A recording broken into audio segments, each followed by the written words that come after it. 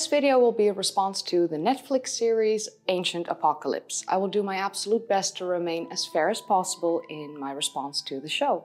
So I've watched all eight episodes and read articles online from people who are supporting the show and people who are against the show. I always like to look at both sides of the coin. So I will make a video for each episode. These videos will all differ in length depending on how much I feel the need to explain. So many counter arguments and rebuttals have been written online, and they are scattered everywhere, which makes it very difficult to find for those who are just coming across the works of Graham Hancock for the very first time. For people who are interested in knowing more, who like to research things themselves to, you know, fully understand it. So this video will give you all of the information in one place as I look into the show, and I'll do my best to show the facts from the fiction, and we go episode by episode. In these videos, I will also be using quotes directly from archaeologists, historians, and other people in the field that I've gathered online. I will also sometimes be using quotes from Graham Hancock himself and other people that support him. So without any further ado, my name is Kayleigh and this is my video about Ancient Apocalypse Episode 1, The Great Flood. What is fact and what is fiction? Graham Hancock starts the series off with describing himself as a journalist that's investigating human prehistory because he suspects that humans are a species with amnesia. Of course, you know, being familiar with his work, this sentence is very well known and often used by him. I might personally not agree with him on this, but it is one of the things I've heard him say most often, and he's most well known for this particular sentence. So he is of the opinion that we humans have forgotten a very important thing of our past, which he thinks is the existence of a lost, advanced, ancient civilization from the Ice Age. Saying the Ice Age doesn't really point it down, as the last Ice Age started 100,000 years ago and ended at the end of the Younger Dryas 11,600 years ago. That's a really broad timeline to have. With this show, Ancient Apocalypse, Graham Hancock wants to show evidence that challenges the traditional view of human history, which, if I might add my personal two cents, is always changing and developing due to new excavations, new research by the use of new technology into already uncovered things, and new discoveries in the field of archaeology, anthropology, and paleoanthropology. He says that his idea of an advanced civilization from the Ice Age will be upsetting the so-called experts because during the Ice Age, the only humans alive were simple hunter-gatherers. I think it's really strange to call the hunter-gatherers in Europe and Asia and Africa from the Ice Age simple, as they were definitely not primitive people. They needed intelligence and skill to survive that brutal period of time where open tundra and glaciers were covering most of Europe, and food was very scarce in such conditions, which makes survival a lot more difficult.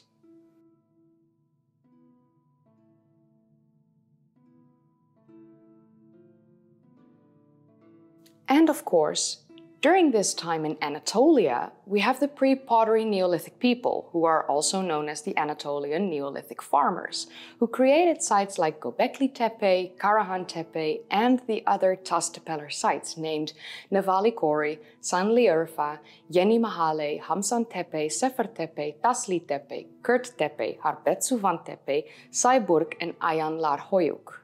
None of these were primitive and they were made by people with skill and knowledge. These sites are characterized by the T-shaped pillars and other parts of these sites date back to at least at least 11,600 years ago, and then some of them are even older.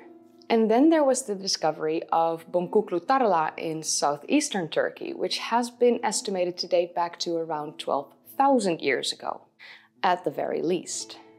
And this is just in Anatolia. This is one example, there are many more. So going back to him saying that his idea will be upsetting the so-called experts, I personally believe he is going straight into the role of the martyr, as he then goes to call himself enemy number one of archaeologists. He says that he is the person to show different points of view because, well, you know, the mainstream academia have an extremely defensive, arrogant, and patronizing attitude, which is stopping us all from considering it to be a possibility. So, if I may interject here, if there is one thing I have learned from academia, from paleontologists, archaeologists, anthropologists, paleoanthropologists, and other scientists, is that they have quite the open mind when it comes to the ancient world. They like to think about the possibility. Most of them are actually very open to the idea that human history goes back further than we currently think, than we currently have been able to prove that we could have been more advanced than we currently can prove by the evidence found so far. But the thing is, it is their job and their duty to stick to the evidence and only speak about what's factually proven. They can, at times, and they do sometimes, talk about the plausibility of something bigger, grander, older, etc., etc. But besides hinting at the possibility, they will never speak of it as truth in any way, shape, or form. I honestly bet that archaeologists would be absolutely elated if a discovery would prove the existence of a previously unknown civilization dating back to the last ice age. Just like how amazed they actually were when they found out that these sites in Turkey date back to the Younger Dryas. Archaeologists have never tried to hide the dates from sites like Gobekli Tepe, Karahan Tepe, none of them, or any of the sites on the world for that matter. I feel like Graham Hancock here is painting a very bad picture of the people doing the hard work in the field, with no comfort and, you know, not much recognition. He also keeps using the word mainstream archaeologists which implies the existence of alternative archaeologists. But I can tell you that there aren't alternative archaeologists, and that is for one very simple reason. Archaeology is carried out in a scientific manner, because otherwise it's not archaeology. Archaeology itself is a science. They use scientific methods to date things, and without that science, it cannot be proven.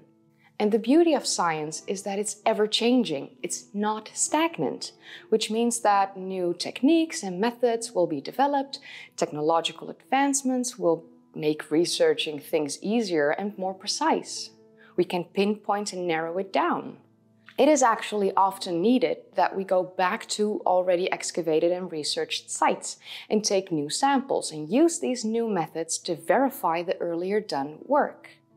But, you know, all that is fun. Back to the show, because that's what we're here for. He says that mainstream archaeologists are claiming that after the last ice age, after the Younger Dryas, some 9,600 years ago, the hunter gatherers suddenly started farming and raising livestock. Which is simply not true. We know that the pre pottery Neolithic people in the Fertile Crescent were already domesticating plants and animals around 12,000 years ago, during the Younger Dryas. This cold spell is actually often attributed to most likely being the reason for them to start doing this. So these pre-pottery Neolithic people are also known as Anatolian Neolithic farmers and ancient Aegean farmers. So around 9,000 years ago, these Neolithic people from the Fertile Crescent started to move into Europe, and they are known as the early European farmers. These early European farmers were direct descendants from the first farmers from the Fertile Crescent, who were already farming and keeping livestock for about 3,000 years. So, no, agriculture and the keeping of livestock never happened suddenly. And honestly, in 2022, uh, I've not met an archaeologist or a historian that will claim otherwise, because this has been proven to be factually true. He then says that this sudden burst of agriculture led to the creation of the first settlements and the first cities until the first civilization emerged 6,000 years ago. But here I am, honestly thinking that he forgot about the oldest city in the world, Jericho. The oldest evidence of settlement dates back to around 12,000 years ago, again in the middle of the Younger Dryas. And around 11,600 years ago, at the end of the Younger Dryas, the climate changed and the Natufians were able to inhabit the region year round, making their settlement permanent. Yes, the city of Uruk is often seen as the birth of civilization, but that's because writing started there. That's not necessarily the first city. Jericho is the first city, dating back to 11,600 years ago. None of this was sudden, and it already started to develop during the Younger Dryas.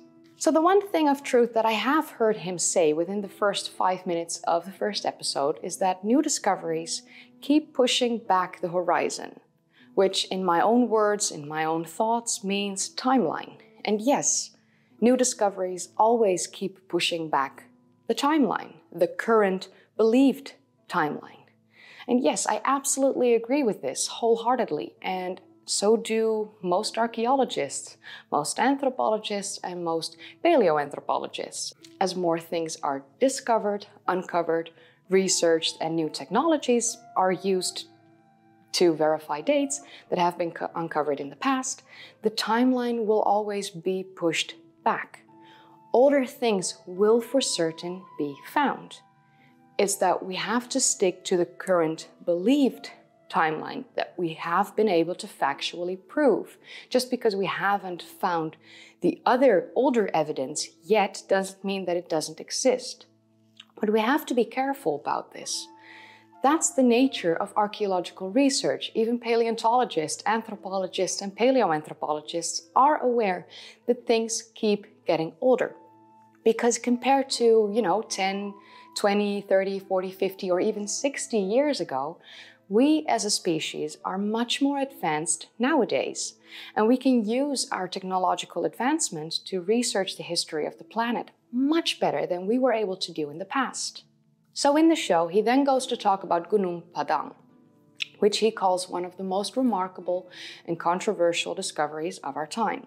Gunung Padang is located in Indonesia, this site was first mentioned in 1891 by a Dutch geologist and mentioned again in 1941 by a Dutch researcher. Yes, back then Indonesia was part of the Dutch Empire. After that, it wasn't really looked into until local farmers renewed interest in the site in 1979. So Gunung Padang is a naturally formed hill, although the landscape of this hill has been adjusted by humans over time. They quarried basalt columns of cooled lava flows that were found a very short distance to the north of the hill site, And these blocks have some, you know, curious shapes, um, very hexagonal. Curious shapes like this often occurs when lava cools down. So the people created four rectangular courtyards on four terraces, and a fifth terrace was actually discovered in 1981. Excavations into the idea that the hill was an ancient burial site revealed no evidence to support that theory, and therefore it's currently believed that this hill is an early type of ancestor worship place. Just like the Mesopotamians, like the Sumerians, used to worship on top of the mountains before they started to build their first ziggurats. The higher we are, the closer we are to the sky, and therefore the closer we are to the gods. Of course, with higher, I mean in elevation, not due to substances. Although that was another way of communicating with the gods, for sure. So, you know what? Never mind. Both highs are usable here. Damn it. Get high. Either way. but back to Gunung Padang. There are two cultural layers according to Ali Akbar. One layer is dated to 500 BCE and the other layer is dated to 5200 BCE, so a little over 7,000 years old. Graham Hancock then goes on to say that 7,000 years ago, the people in the area were simple hunter gatherers. So, what on earth could have motivated them to bring those blocks to this hill? I personally think that's a wrong assumption because it's not clear if the blocks were placed there 2,500 years ago or 7,200 years ago. We can't know for sure unless we date the ground underneath. The show then brings on Danny Hilman Natawidjaja, a geologist who suggests that the construction of Gunung Padang started 24,000 years ago. But There's a problem with this. The geological work that he's done has never been published, and 34 Indonesian scientists have actually signed a petition questioning his motives and methods. The excavations were well funded by the government, but they were rushed and they were not carried out by the proper qualified people and using the qualified proper methods, according to these Indonesian scientists. Therefore, his claims of Gunung Padang originating 24,000 years ago cannot be accepted as fact unless they reveal the research to the public and his peers. Peer review is one of the most important things when it comes to the scientific world. So, what I find very difficult in watching this first episode of the show is that Graham Hancock mentions the last ice age often but one moment he hints to the Younger Dryas, and the other moment he hints to the last glacial period. While both of these are periods during the last ice age, they are quite different. This is because the last glacial period started 100,000 years ago and ended around 25,000 years ago, while the Younger Dryas started 12,900 years ago and ended around 11,600 years ago. So between 25,000 and 12,900 years ago, the people who lived on the planet weren't sitting still as this was an interglacial period. The climate very slowly started to warm up. Not by much, but it stopped cooling down after the last glacial period occurred, known as the last glacial maximum, with its peak between 26,500 and 22,000 years ago. We know that the oldest discovered settlement ever found dates back to 25,000 years ago at this point in time. This was a settlement consisting of huts made from mammoth bones and rock, named Dolní Věstonice in the Czech Republic. We also know of the footprints that we have discovered at White Sands in New Mexico that date back to 23,000 years ago. I would like to make it very well known that Graham Hancock is absolutely correct when he says that during the height of the last ice age, around 20,000 years ago, the sea levels were 120 meters or 400 feet lower than they are now. Which also explains the footprints at White Sands in New Mexico, because the sea levels around the Bering Strait would have been lower around 25,000 to 23,000 years ago therefore exposing the land bridge and making it possible for people to get to North America. And the area known in modern times as Indonesia would have been part of the landmass known as Sundaland during this time, between 25,000 and 20,000 years ago at least. But, you know, at least it existed way before as well. And back then, Doggerland in Europe was also still intact and thriving. For those who aren't aware, I created a mini documentary about Doggerland and how that landmass submerged on my channel last year. I will put that as a card in the upper right corner and I will place the link to that video in the description down below as well. According to Graham, during the Younger Dryas cool spell, a great deluge happened as sea levels rose drastically. But when I went to investigate this, I actually found that during the Younger Dryas, the rate of the sea level rise actually slowed down. It was before and after the Younger Dryas that the sea levels were rising more rapidly, mostly before though. Meltwater Pulse 1a around 14,000 years ago had sea levels increased between 16 to 24 meters until 12,000 years ago when the rate of the sea level rise slowed down at the start of the Younger Dryas. Meltwater Pulse 1b occurred between 11,600 and 11,000 years ago when sea levels may have risen by as much as 7.5 meters. Listening to this, this sounds like sea levels were rising rapidly and massively and, you know, it, it sounds very drastically.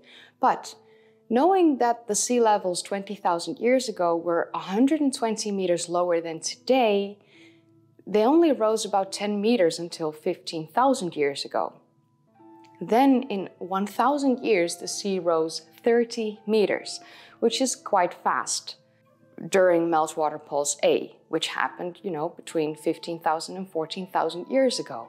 which means that sea levels were around 80 meters lower than today before meltwater pulse 1a happened, and sea levels rose some 20 meters on average after this. So around the end of the Younger Dryas, 3,000 years later, sea levels were only 60 meters lower than today.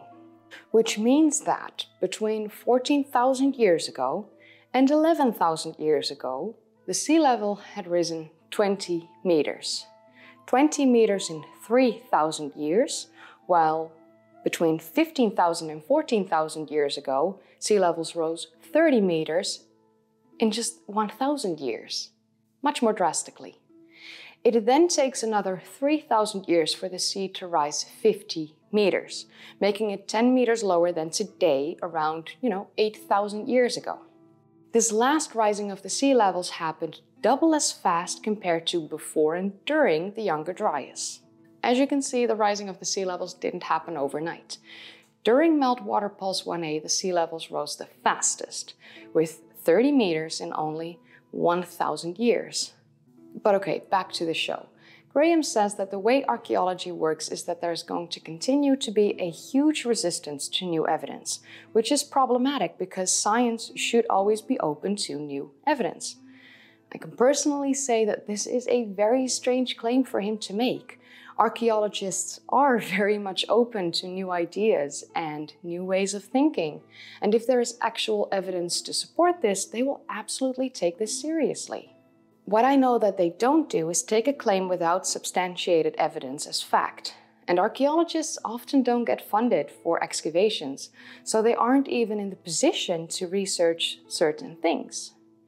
Unless we are going to start funding them for projects like the ones Graham Hancock wants to have researched, they will most likely have to continue their current work on certain sites. The work, you know, that they are paid to do. Their workload is heavy, the work environment and conditions are very rough, and often they have to leave their homes and family behind for weeks on end during excavation season. So yeah, I think that if Graham wants sites like these to be excavated and researched, he can, you know, start a GoFundMe or something. Let's see how quickly he gets the funds to get a team of licensed archaeologists, anthropologists, geologists, and scientists to research it so we can get some real answers. I mean, I honestly believe he is popular enough to get this funding done within, what, a few days probably. So yeah, start a GoFundMe, Graham. I want to see this. I am interested. And I'm not saying that it's impossible, I just want to see the actual research done. So, this has been my response to the very first episode of the Ancient Apocalypse series. I've tried to keep the information as clear and concise as possible, and I've tried to remain fair towards Graham Hancock, who I think is piquing the interest of many people and hopefully making them more intrigued to learn more about the ancient world. But with that said, you have reached the end of this video. Next week, I'll be back with my response to episode 2 and, you know, a different video as well. We also have a cat. This is Lila. She likes to say hi from time to time. But with that said, if you enjoyed watching, then don't forget to give it a thumbs up, subscribe if you'd like to see more of these kind of videos, and click that bell icon if you want to be notified whenever I upload. And maybe, you know, share this video with people you know have watched the show. Um, if you haven't seen my previous videos yet, then click the card in the upper right corner or click one of the links in the description down below. They go straight to my playlists. And you know the Doggerland video if you haven't seen it. And in the end card, you can also click either to playlists or a video. The video there is set to best for viewers, so YouTube caters to you and what it is that you'd like to see. Um, I want to say a massive thank you to all my patrons and my channel members. Thank you so much for supporting me. It means the world to me. And if you're considering supporting me, then maybe become a channel member or a patron. And yeah, with that said, I'm gonna cuddle my cat, watch some World Cup football and or soccer for my American viewers. And I'll see you in the next video. Bye guys. Say bye, Lila. Bye.